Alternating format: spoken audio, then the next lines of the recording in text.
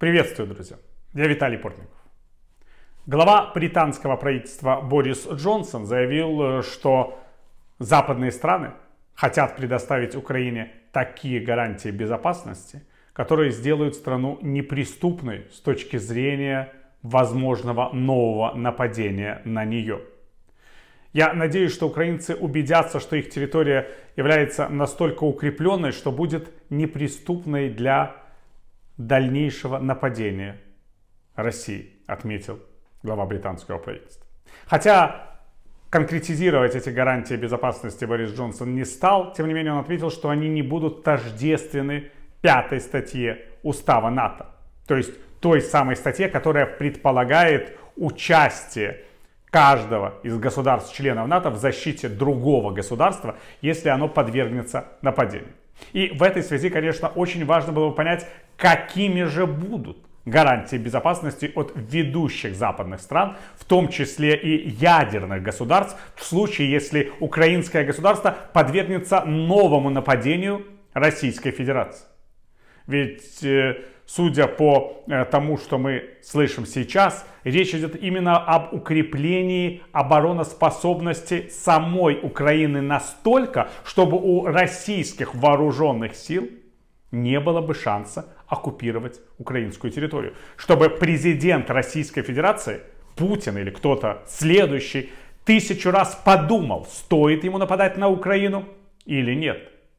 Но Вместе с тем мы должны всегда помнить, что Украина это не ядерное государство, которое находится по соседству с ядерным государством.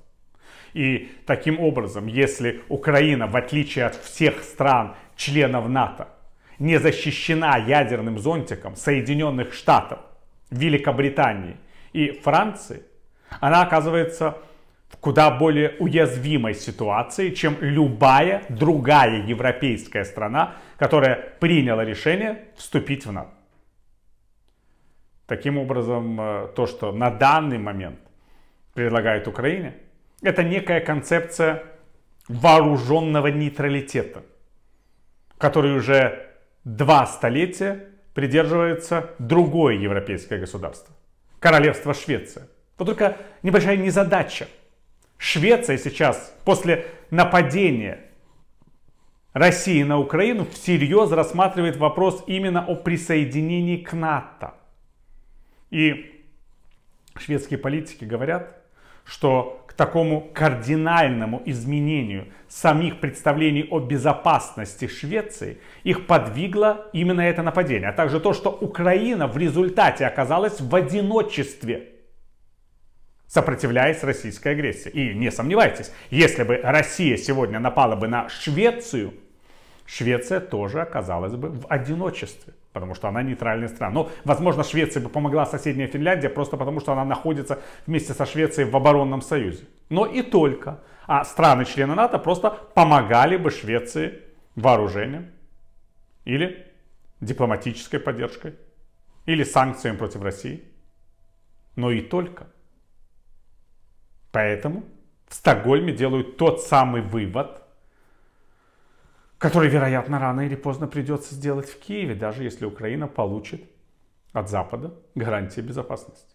Гарантии поддержки этого самого своего вооруженного нейтралитета. Ну и затем, а согласится ли с такими гарантиями сама страна-агрессор, Российская Федерация? Глава российского внешнеполитического ведомства Сергей Лавров, который обычно озвучивает самые отвратительные пожелания своего шефа Владимира Путина, уже сказал, что Россия согласится с такими гарантиями безопасности Украины, которые не будут нарушать интересов безопасности самой России. Попросту говоря, со списком стран-гарантеров в Кремле могут согласиться. А вот с сущностью гарантий, скорее всего, не согласятся просто по той причине, что Россия-то напала на Украину вовсе не потому, что Украина хотела вступить в НАТО.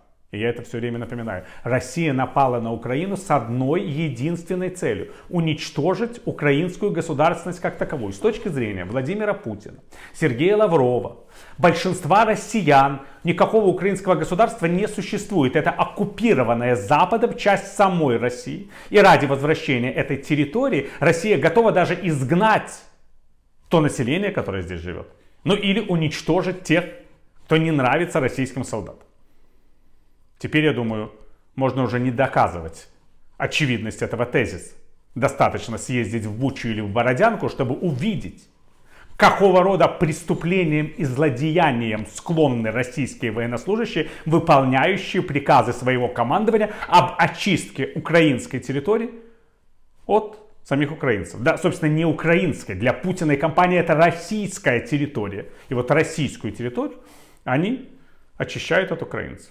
От людей, которые имеют украинское национальное сознание.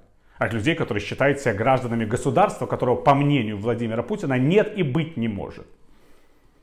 Ну и тогда возникает вопрос, а согласится ли Россия с такими гарантиями безопасности для этого государства, которые позволят ему и далее существовать?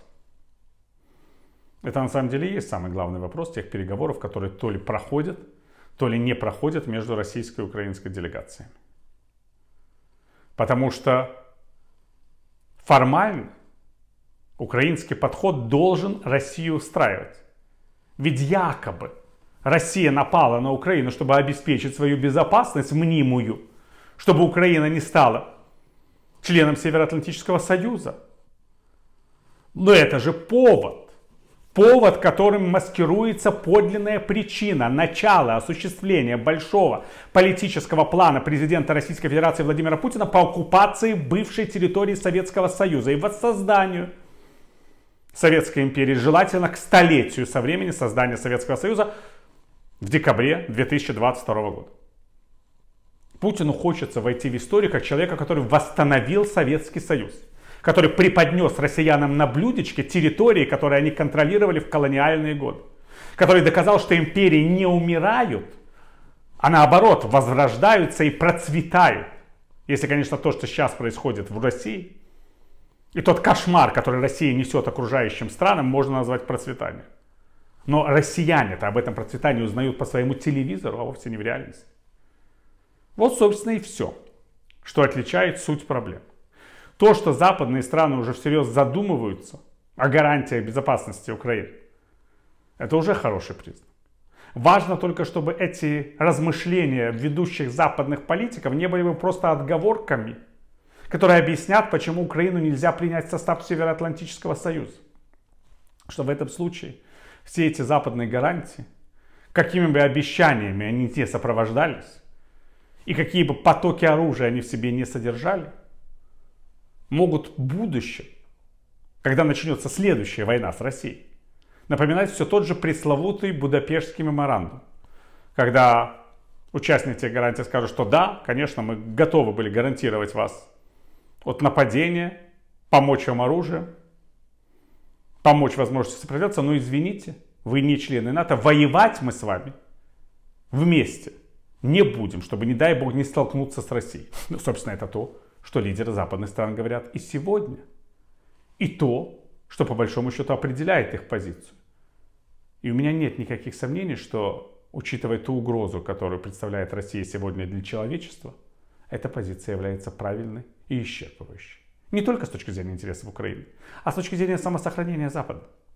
Спасибо, друзья. Оставайтесь на этом канале, подписывайтесь на него, подписывайтесь на мои социальные сети и на канал в Патреоне, который помогает нам развивать эти проекты. Пользуйтесь опцией спонсорства в самом YouTube.